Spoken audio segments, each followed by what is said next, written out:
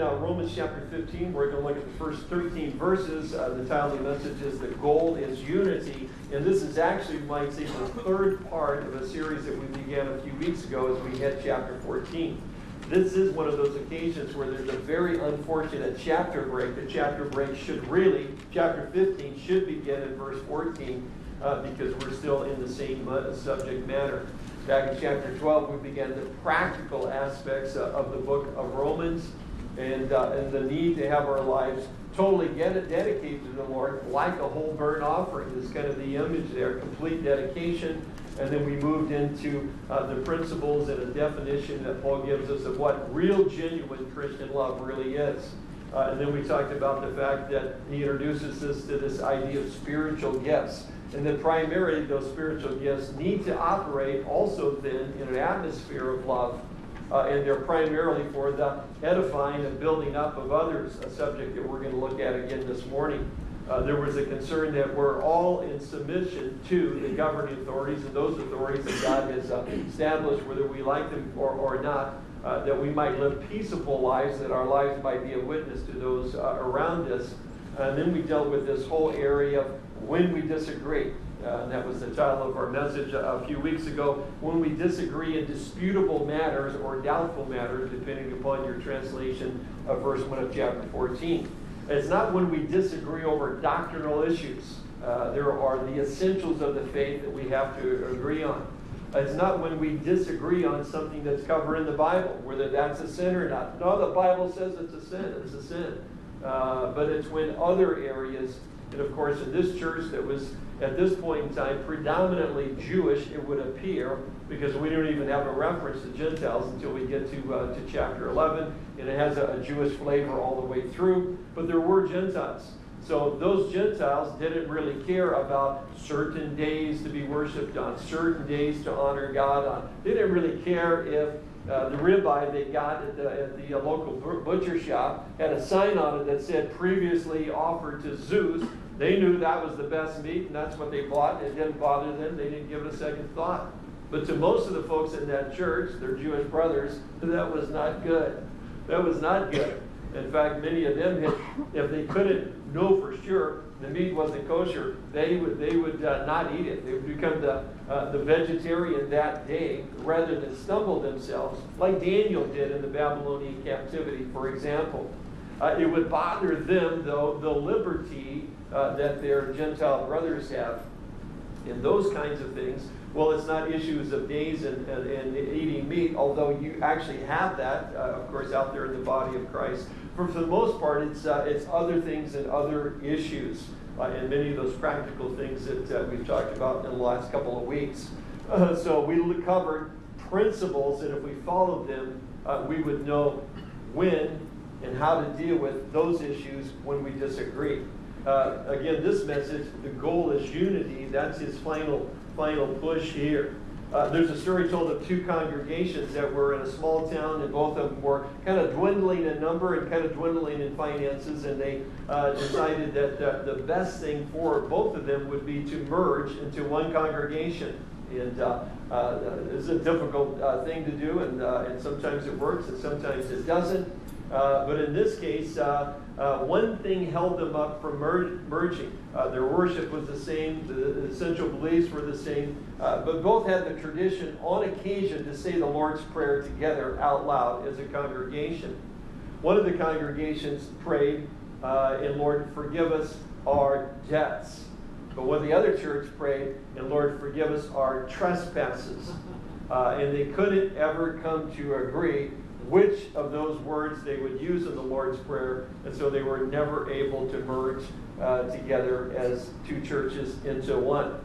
A secular reporting reporter covering the story said uh, in the end uh, that one church went back to its trespasses and the other one went back to its debt. and, uh, and unfortunately, it's the little things, the crazy things like this that sometimes keep us from having uh, unity uh, in the church. Again, the principles we've gone over so far uh, back two weeks ago is the need to accept one another, just to simply accept one another. After all, Christ has accepted us, and that our allegiance belongs completely to the Lord. The Lordship of Jesus Christ is always an issue uh, when there's a disagreement. Uh, and Paul's there, there at the end of that passage is that in the end, we're all accountable to the Lord. None of us will have to stand before Jesus Christ one day and give an account for someone else. And whether they lived according to their convictions or not, we're all going to stand uh, on our own. Last week, we looked at the fact that uh, our actions uh, affect other people. The phrase that Paul uses is that, uh, that we can do things that actually stumble other people for whom Christ died. Uh, that glass of Cabernet Sauvignon in the restaurant might be really good, but the guy that's watching you over there uh, that knows that you're a believer and he's a believer, that might be a problem for him. It might be an issue for him. Uh, that's a modern day example, and I appreciate everybody came back last week, and some of you are still wearing slippers, which is amazing after all the toes I stepped on in that last message last week. Uh, but uh, uh, disputable issue, gray areas, things that are not covered uh, in the Bible. Our actions can impact other people. We must make every attempt to walk in love. And, uh, we're going to see that again in this message as well. It should be our aim to be at peace with each other. Uh, and of course, in the end, our last point last week, all of us have got to live according to our own convictions. And we cannot take our convictions and try to put them on someone else, uh, nor can they uh, to us, and it's wrong to attempt uh, to do that.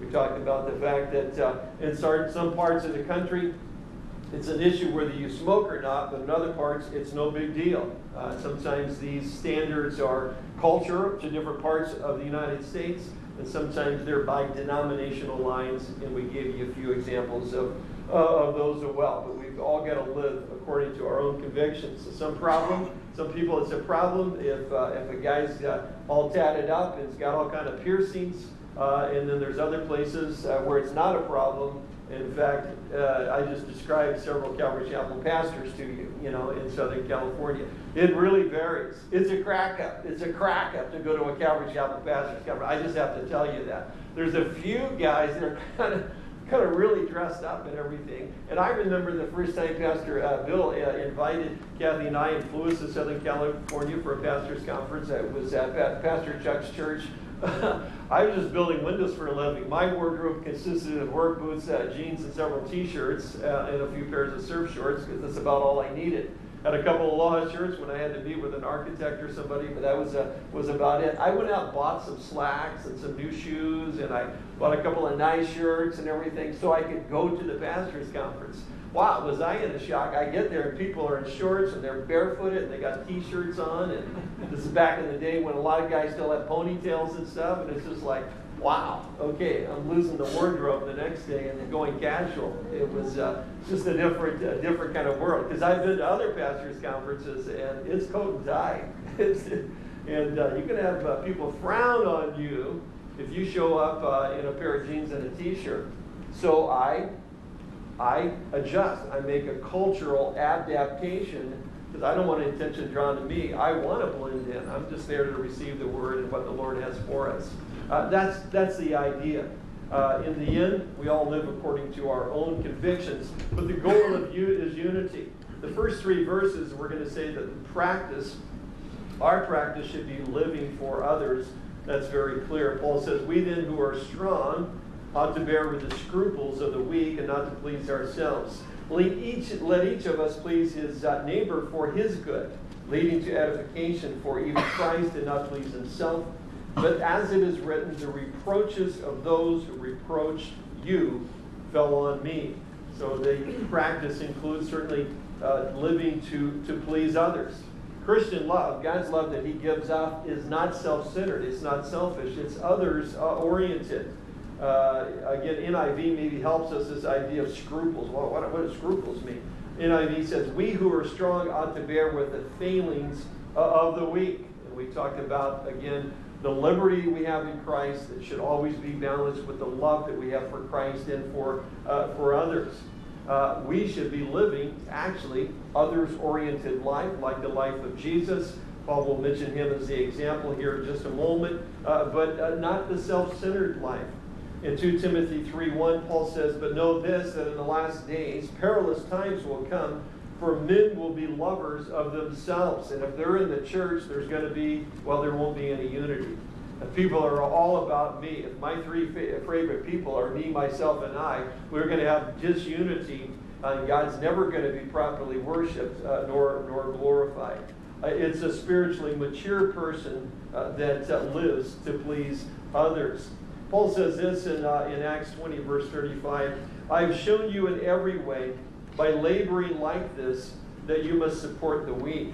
And remember the words of the Lord Jesus he said, that he said, It is more blessed to give than to receive. And, th- and this is the model of Jesus to, to live not for yourself, for, for other people. Uh, as we've said on many occasions, uh, living to be happy is not the way to be happy. Uh, if you're not sure about that, just watch the news at night or uh, watch uh, multi-million dollar super athletes or stars and so forth that seem to be have it all and live for themselves, uh, and you will not find a happy person. Uh, it's living to please others, the weak, that you can help uh, and be blessed in that way. We talk about the fact that an appropriate illustration is parents. you start having kids, and, and all of a sudden you have to adjust many things in your life to please uh, not that you give in to every whim, but you live in a, such a way that uh, it's going to work for you and your family uh, and for your, for your kids. Often it's a, dietary change. Uh, you go from eating at your favorite French restaurant to the Scottish restaurant down the street.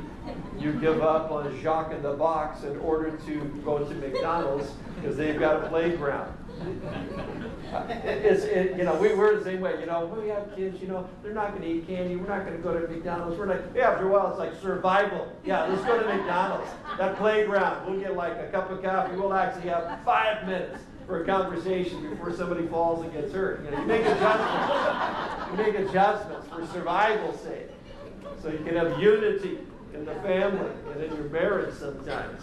Uh, that's the idea here, living for others. Notice that it's the strong that makes the adjustment.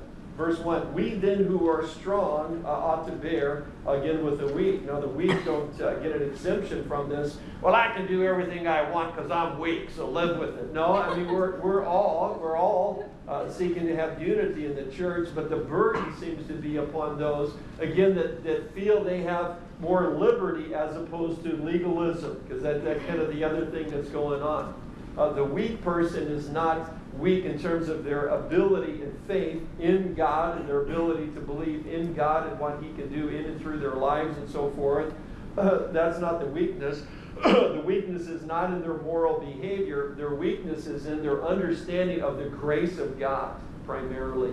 And so they feel they have to look a certain way and do certain things that are not covered in the Bible in order to be truly walking with the Lord. Doesn't make us man pleasers. We don't have to be nice guys to accommodate somebody else's sin. Uh, these are things that are not covered in the Bible, but it's up to the strong to make the adjustment to help the weak. It's to please, but also, secondly, notice it's to edify others. Uh, we are to change our lifestyle in verse 2 for his good, leading to uh, edification, uh, to build them out, up. Uh, and again, it's, uh, it's not an optional thing ought to bear with the failings of the weak uh, is the idea of the old English, we owe. We owe this. It's in a sense, it's an imperative, it's a command, it's what we need to be, be doing. Paul's mentioned this back in chapter 14, verse 19. Therefore, let us pursue the things which make for peace and the things by which one may edify another. And so, therefore, when we run into another believer at the shopping center, uh, at Safeway, wherever it might be, out in the hallway, the first thought that comes to my mind should be how can I, what can I do, what can I say to help build this other person up spiritually? We might have our disagreements on their liberty over certain issues. It's up to me to see what I can do to put them first in my life. How can I build them up? How can I make them stronger uh, in their faith in Jesus Christ? And just as a, aside, I just want to note that that sometimes is very difficult if I haven't spent any time with the Lord. If I haven't spent any time in the Word, if God's not working in me and showing me, sometimes I, I kind of want to do that, but I'm just really not even sure what to say. As opposed to, hey man, great to see you. You know, the Lord was just showing me so much, encouraging me in this in the Word today, and you know, and God is so good, and uh, you know, we need to be building each other up. Uh, that should be our thought. Uh, how to please, how to build uh, each other up, and then thirdly, and obviously, The practice includes following the example of Christ, verse 3 For even Christ did not please himself. Uh, and again, he, uh, I want to go through just a, a, couple of references. This is the obvious uh, that Christ left heaven, uh, came to this earth, lived a perfect sinless life, uh, went uh, and to the garden and prayed, "If there's another way, if there's another way, then take this cup from me. Nevertheless, not what I will, but what you will." and he goes and he knows he's going to get beat to a pulp. He didn't do that to please himself. He knew he was going to be nailed to a cross. He didn't do that to please himself. Uh, Christ becomes the example. Uh, well, I don't know if I really should give that up. You know, it's kind of a sacrifice. Yeah, I think that's the word. Uh, and then let's think about what that sacrifice is compared to, well, that's Paul's point. Uh, Jesus is the ultimate example of, for even Christ did not please himself. Uh, in John 8 29, there Jesus says, I always do what pleases him in terms of God the Father. John 4 34, my food is to do the will of him who sent me.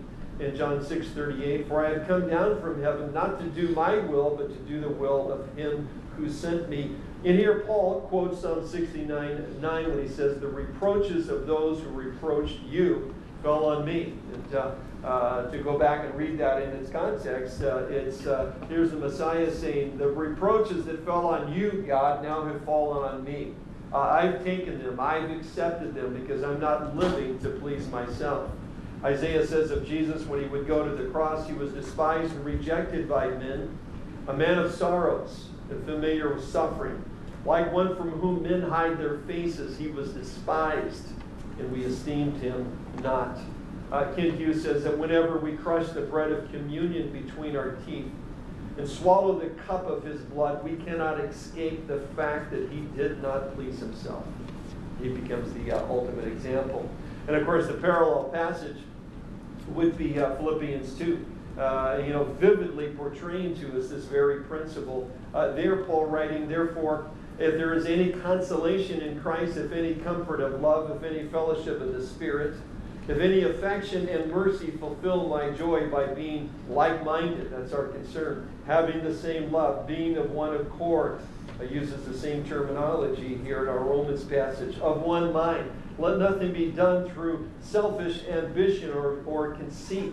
Some translations would say vain conceit or empty conceit. But in lowliness of mind, let each esteem others better than himself.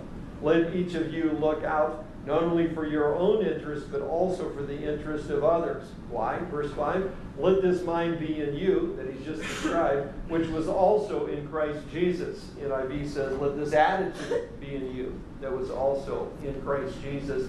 Uh, he's the example. A couple things we can learn from this passage that I want to kind of enumerate because it's, uh, it's very powerful. Uh, first, we need to see when it says, uh, If uh, it's in a special class and it means if and it is so, or we would use the word since. So these are foregone conclusions. Since you have encouragement from being united with Christ, and we should be, we should be encouraged. Uh, how can we have the attitude of Christ? Well, it should be an encouragement, the fact that we've been uh, united to Him through the Holy Spirit. Peter tells us the same thing in 1 Peter 2.21. To this you were called, because Christ suffered for you, leaving you an example that you should follow in his steps. It's kind of hard to say we're followers of Jesus Christ, but we don't really want to act like him. we don't want to have that kind of attitude. Uh, but, uh, but we should. And it brings unity to the body of Christ. Since you have comfort from his love, this word means tenderness, it means to speak closely with. Uh, it's a picture of someone has died. Uh, your friend is there. It's someone they know, it's someone they close to to them, and you come and you speak closely with them. You're, you're mourning with those that are mourning. You're weeping with those that are weeping. That's the word. That's the word that God says He has for us. Paul says, since you have that kind of comfort from Jesus Christ, from God, that you have the fellowship with Him, since you have that kind of comfort, since you have fellowship uh, uh, again uh, with the Spirit, uh, the Holy Spirit is what really binds us together. Uh, the life of the life of humility in doing this is not the natural life. You know, we just don't uh, uh, show up uh, uh, very often uh, and think, "Oh man, what a blessing to see everybody here," and I'm just so humbled to be in their presence. And I sure hope there's something I can do to edify others. You know, that, that's where we want to get to. That's not our natural life. Our natural life is, uh, is worried about me and my deal, and my thing. Uh, but uh, uh, we have fellowship with, with the Spirit. Uh, the Spirit makes us one. Uh, we have the comfort of His love, the encouragement of being united with Him. And then we have His tenderness and His compassion. The word tenderness can also be translated compassion. And, and the Gospels speak over and over of the, of the compassion that Jesus Christ had as he looked over to the multitudes and had compassion on them because he saw them as sheep without a shepherd. Uh, as he sees a, a, woman and her sons died and this funeral is going by. He has compassion, so he goes and prays and raises the, the, young boy up, up from the dead. Jesus did a lot of miracles to authenticate his messiahship. But once that season was over, he continued to do miracles simply because had great compassion for, for people. Uh, it's, uh, it's a word that means to have uh, tender mercy. Uh, it's also the idea to have pity upon and recognize where people are at. Uh, and certainly we need to do that with not just our brothers and sisters, but everyone that's out there in the world and see their greatest need, which is to know Jesus Christ as their Lord and Savior. A number of years ago when Strat uh, Goodhue, uh, brother-in-law, former associate pastor here, uh, was uh, on staff with us. His grandmother, uh, who was uh, alive at the time, and she's now with the Lord. Noni, she was at, at Arcadia, which is kind of a, a rest home, nice place down by down by Punahou. We'd go down and actually have dinner with her. Yeah, a really nice dining room there, and you can meet all the important people of Hawaii that are uh, older and living there, and uh, of which she was. And uh, we went down and we'd have dinner with her once in a while, and she was. Uh, uh, uh Strat's like fourth generation, you know, in the island. So uh, his grandmother, she had stories, and so it was always great to go down and, and see Noni. and Strat would go off as often as he could. He told me one time the Lord came, kind of gave him a vision, being there with all of the older folks. He goes, it's like God showed him there, there's a clock around their neck and the clock is ticking. And he recognized, he saw them differently than other people because they had such a short time left. Some of them maybe had weeks or months and maybe a year or two. But either way, it wasn't a long time before they were going to die and enter into eternity. And it was either going to be with the Lord or, or it wasn't. Uh, and the time was ticking away. And, uh, and he was very concerned. Uh, you know, his grandmother knew the Lord and praised God, but he was concerned about all the other people that would be in that dining room at, at night. That's compassion. It's having a sense of what's going on in somebody else's life and what their greatest need is. In that case, it was a relationship with Jesus Christ. Uh, and that's the, uh, the idea. What creates disunity? Selfishness, pride, demanding our way, competition. Uh, but if we recognize and have the attitude that was in Christ, uh, that won't happen. He gives us three how to's. He says, Do nothing out of selfish ambition or, or vain conceit. Uh, this needs to be our, our motive, and sometimes we need to uh, check our motives. Consider others more important. I think that's a character trait to be, be developed. Uh, you know, it's not our natural tendency to walk into Burger King uh, and have that 19 year old gal behind the counter that's getting your french fries and think of her as more important than you unless you're 11 or 12 and you love French fries, then it's like awesome. I want that job someday because I love French fries. You know, uh, you know. See, sometimes it just depends on where we think we're at in our social order, in our education, in our job, and who who who, uh, who respects us and who doesn't, and so forth. But but Paul says the attitude of Jesus here was to uh, always consider others more important than than yourselves. I remember the first time we brought David Hocking over for a men's conference, and this was back in the day when you actually went out to the gate at the airport to meet him, and Kathy and I were there to meet him and his wife Carol, and I was nervous. I mean, I'd read his books, I'd heard him on the radio for years. I, there used to be a thing called a cassette tape. You can Google later, find out what that is. It was a way in which you could listen to people uh, teach, uh, and uh, and I did that for years. And this guy with three PhDs. What have I got to say to this guy? You know, and uh, I just went make sure I don't get lost getting into his hotel. That was the, the, the big thing there. And uh, anyway, we pick them up and, uh, and right away, right away, even just walking to get their luggage. By the time we got their luggage, David Hocking had me convinced this is, this is one of the greatest thrills in his life that I would take the time to spend a little bit of time with him. Because he knew how busy I was and all the things I had to do as a pastor, and that I would take the time to come out to the airport personally uh, to drive him to suicide. He could hardly get over it.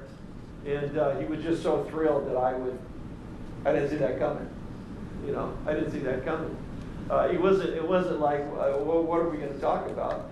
Uh, he, man, we just talked about the Lord and the Bible and our love for God's Word and what God was doing. It was just a great time. It was a great time. And obviously, a great fellowship, and we've uh, had it back many times. But that's what that's a character trait uh, to actually be developed. I think. I don't think those things come naturally to us. Uh, Paul says, "Don't limit your actions to your own self-interest." Again, putting uh, putting others first. And, and, we do that a lot. Certainly, we do that again as parents. Uh, again, if you if you don't think you're a very selfish person, then have children. You'll you'll learn uh, otherwise very quickly, very quickly. That uh, man, I thought I was doing pretty good in my relationship with the Lord. I'm not. I'm really a lot more worried about me, myself, my time than I, I ever considered before. Uh, you know, when there's an emergency happens, where there's disaster, a fire, or whatever, you'll watch people not live for their own self-interest. You'll watch them do the opposite when there's a tremendous need. They'll rush in and they'll do and they'll help and with strangers, and it doesn't matter. We just got to do something. So we really have it in us to live this life, uh, and if we do, uh, we'll be following and having the same attitude uh, of that of, uh, of Jesus Christ. This is what Jesus was like. Uh, and he never lived to please himself. He lived to please his neighbor for their good, to build them up. And Paul tells us here in Romans 14 uh, that we're to follow his example. The practice is living for others. Secondly, the purpose is the praise of God. That's in verses 4 to 6. For whatever things were written before were written for our learning, that we, through the patience and comfort of the Scriptures, might have hope. Now may the God of patience and comfort grant you to be like minded towards one another according to Christ Jesus, that you may be one mind and one mouth, glorifying the God and Father of our Lord Jesus Christ. So, to accomplish the purpose, which is to glorify God, uh, we learn from the examples of the Old Testament that the scriptures there are the Old Testament scriptures. That was the scriptures they, they had at that time. If we study them and we learn from them, the results will be hope uh, in our lives because we'll recognize, well, if we study the life of Abraham, he didn't always do so well. But man, God sure was gracious. God sure was forgiving. God never gave up on that guy. It's amazing. Uh, and I can study that, Paul says, and I can walk away from that with a, a comfort and a patience that I need sometimes in dealing with other people. And I can have hope for my own heart to change because, after all, those men and women changed. Uh, and we've got something they didn't. We have the Holy Spirit indwelling in us. Uh, we have the person of the Messiah who's already come and died and rose from the dead. We have his words. We have his teaching. Uh, we have so much more than they have. Uh, I can be encouraged so so much. Uh, when uh, when I'm depressed or discouraged, I can go to the Psalms because David sure was. and he, he poured his heart out before the Lord, and I can be ministered to uh, through the Psalms, those examples. When I'm confused, because it seems like, uh, well, I think of, uh, of Gideon in, in, in Judges 6.13, where Gideon says, uh, if the Lord is with us, why is all this happening to us? and sometimes that's the way we feel. Man, if the Lord's with us, why, why is this going on in my life? But I can go to and study the story of Job and Joseph and Daniel and I can say, you know what? I'm in the middle of the story. I don't know the end of the story. Uh, through encouragement of the scriptures, I can actually have hope and patience, uh, Paul says. Uh, and then he goes on, he says, uh, the purpose to glorify God, in that we must see that it is God who is the one who gives us patience and comforts. Now, looking back at verse 4, and this is certainly no accident, Paul's use of, of these two words where he says that we, through the patience and comfort of the scriptures, might have hope. Uh, that's very clear. Now look at verse 5. Now may the God of patience and comfort, same phrase, grant you to be like minded towards one another. Uh, what's the point? Uh, we can derive so much from the scripture, but we need God. we need God to work these things uh, into our heart. We need God to reveal these things to us when we do study the Old Testament, when we study the, the scripture. Uh, we need his comfort, his patience, uh, that we might have hope. Uh, again, it's, it, it's saying that we'll forego. We'll forego some of our Christian liberties. We'll be more understanding to the weaker brother uh, for the sake of the gospel of Jesus Christ and for uh, the unity within the church of Jesus Christ. We need God's help to lead us through the scriptures so we can have hope in our current situation. So we can have hope when we're not really getting along with other people, that somehow God can orchestrate. It's not done. God can still work it out. And we can have hope that we won't just live lives to please ourselves. Because uh, that's, that's always bad news. Uh, always bad news. It's reasonable because Christ is our example it's reasonable because we've got the examples of the Old Testament, and it's indispensable to worship. See that verse 6? Here's our purpose that you may, with one mind and one mouth, glorify the God and Father of our Lord Jesus Christ. That's, that's the purpose of the unity, is that God would be glorified. Uh, we'll never have true worship uh, if there's uh, if we're all coming in here uh, worried about me, seeking to please me and nobody else. Uh, it just it's not going to happen. It's not going to be the same uh, the same thing. it is one of the things that, that I pray for all the time, and one of the things I'm thankful for. I should just say, is that that is the comment that I get a lot from visitors. You know, your church isn't real big, but I can tell you, people here love each other. This is from visitors, people from the mainland. They come in, they're only in here. They see people talking, they see people praying for each other afterwards. Uh, and, it, and it's, you know, it's, it's something to be thankful for. And uh, it doesn't exist anywhere, uh, everywhere, but it's something we need to, to continue to foster and develop uh, here. The goal is unity. It comes from the practice of living for others. Uh, it's the purpose of it is the praise of God. Verse 7 to 12, we have the promises of the Messiah. They've been fulfilled, of course, in Jesus. Paul says in verse 7, Therefore receive one another uh, just as Christ Jesus also received us to the glory of God. Now, I say that Jesus Christ has become a servant to the circumcision, the Jews, uh, for the truth of God to confirm the promises made to the fathers, and that the Gentiles might glorify God for his mercy, as it is written. For this reason, I will con- confess to you among the Gentiles and sing to your name. And again, he says, Rejoice, O Gentiles, with his people.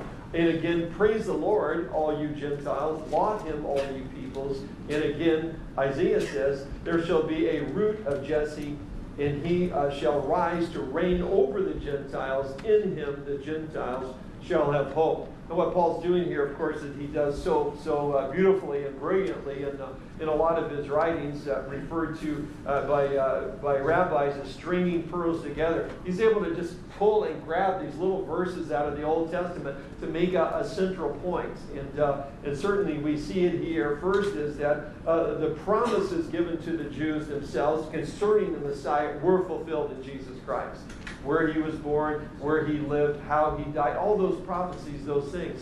But not only that, that he would come and forgive sins. Uh, he would come uh, and, uh, and, and bring comfort and hope to, uh, to the Jewish people. Have all the promises been fulfilled? No, not yet. He's still going to come. He's going to set up his kingdom. He's going to rule and reign. He's going to sit on the throne of, uh, of David uh, and so forth. But in regards to redemption and salvation and everything leading from uh, sin coming into this world to the redemption of the world, they are fulfilled in Jesus Christ. Uh, he was the coming Messiah. They have been fulfilled. Notice the little phrase has become. Jesus Christ has become the servant. He wasn't always. He was in heaven, ruling and reigning, sitting on a throne. But he left it and has become the servant. Uh, Paul's very careful in his language. He's become the servant and he's fulfilled uh, the promises made to, uh, to Israel. Uh, and of course, uh, we, we recall uh, this idea that the gospel was appropriately to go to the Jews first. The example of John the Baptist, he ministered only to the nation of Israel to prepare not the world, but just that tiny nation for the Messiah that would come. When Jesus came, it was only to the people of Israel. When he sends out the apostles on their first apostolic mission in Matthew 10, go not uh, into the way of the Gentiles and into any city of the Samaritans enter not, but rather go to the lost sheep of the house of Israel. After his resurrection, he tells the apostles, remain in Jerusalem.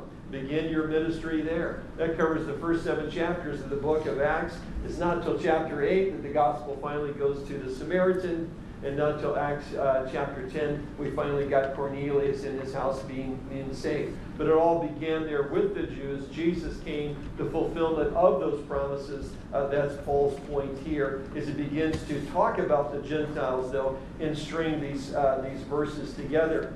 So, secondly, the promises fulfilled then led to the Gentiles receiving the gospel. Verse 9, and that the Gentiles might glorify God for his mercy, uh, as it is written. Gentile, we glorify God because of his mercy shown to, to Israel. Not to us. I mean, he eventually shows his mercy to us. We glorify God because he showed his mercy to Israel. Because they weren't so deserving, were they? In fact, as a nation, they rejected the Messiah. Uh, John 1, he came unto his own, and his own received him not. But that didn't stop him. He still went to the cross and died for them.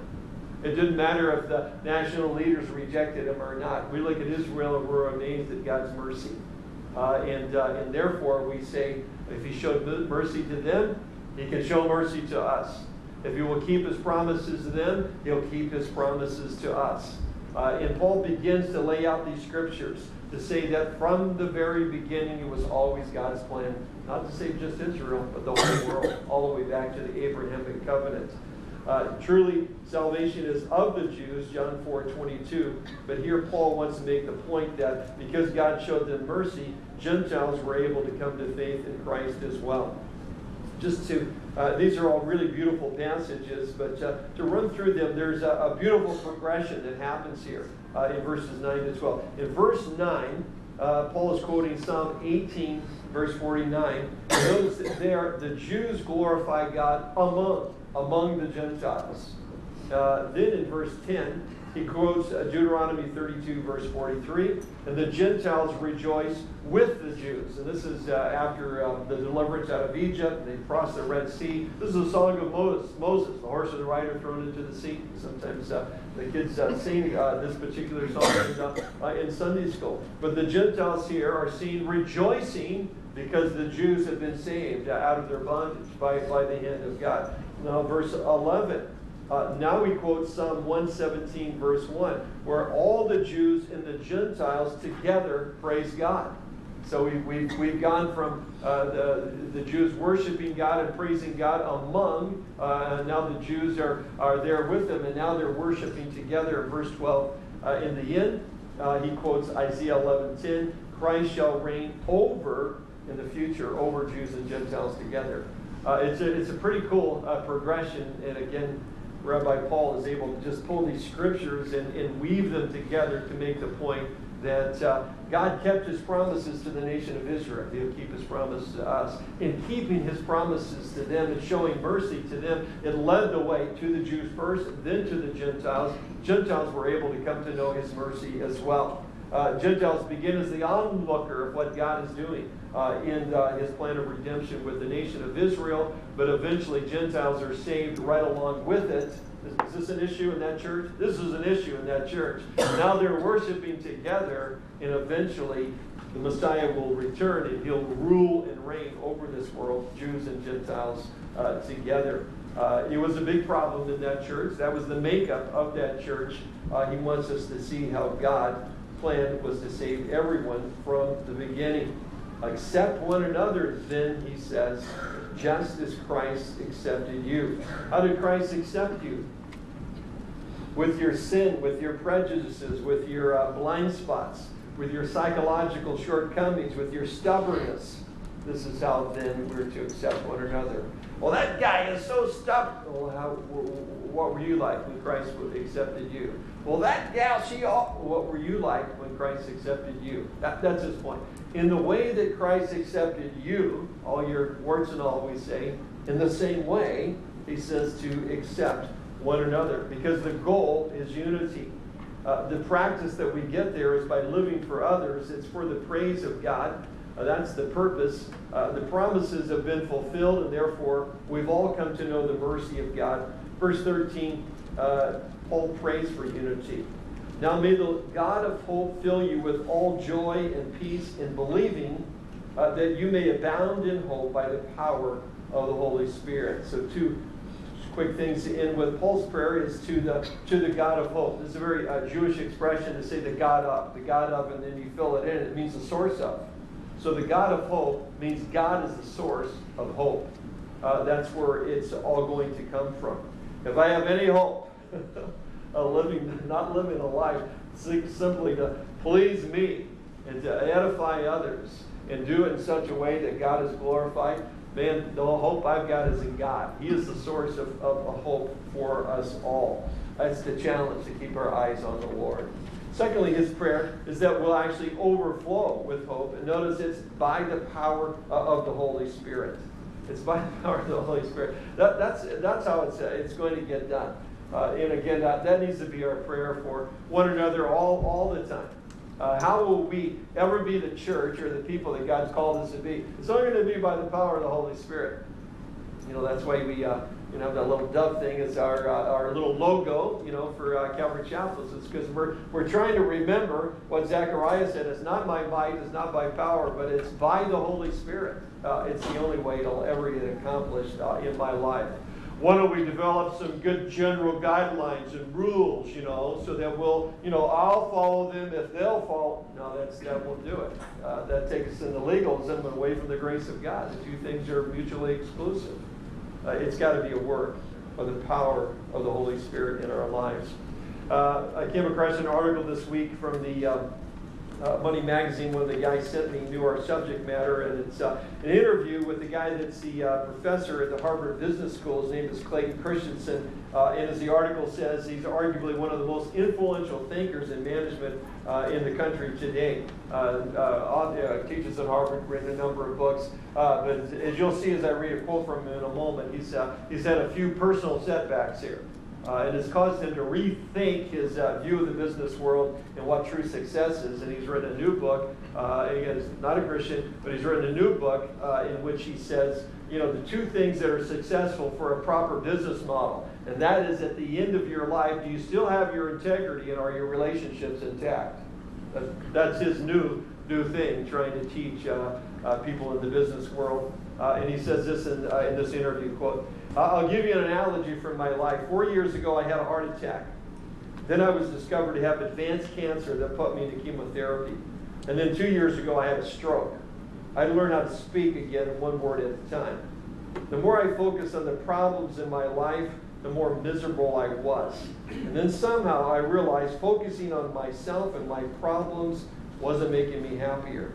I started to say, Every day of my life, I need to find somebody else who I can help to become a better person and a happier person.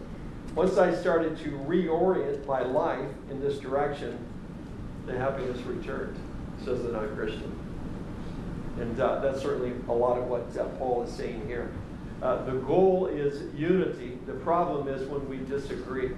Some principles to follow, but ultimately, we need to live a life that's oriented towards other people, and we need the power of the Holy Spirit to do that. Amen. Let's pray. Lord. We'll meet at the river, we will be delivered of every chain. Down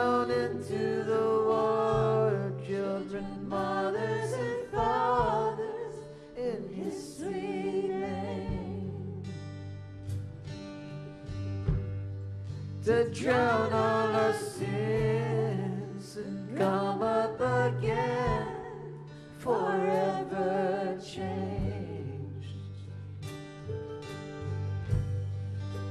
Never to return to the people we were before that great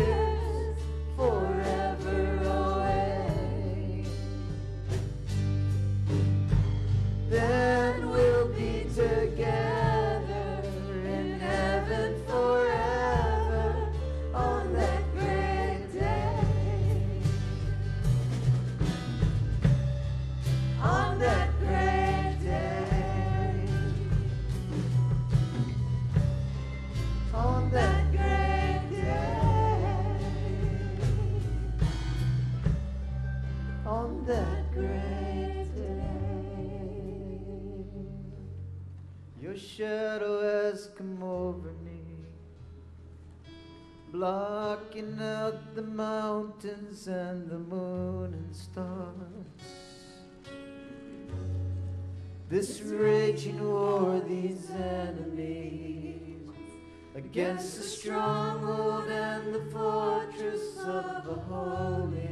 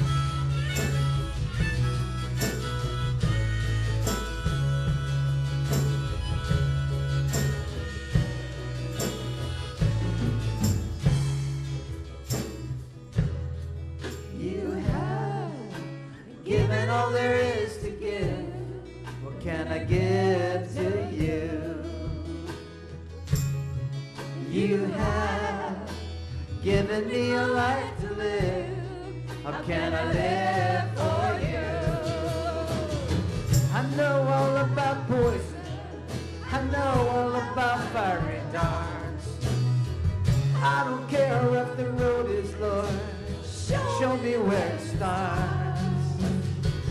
Whatever pleases you, tell it to my heart. Well, I don't deserve it, but I sure did make it through. What can I do?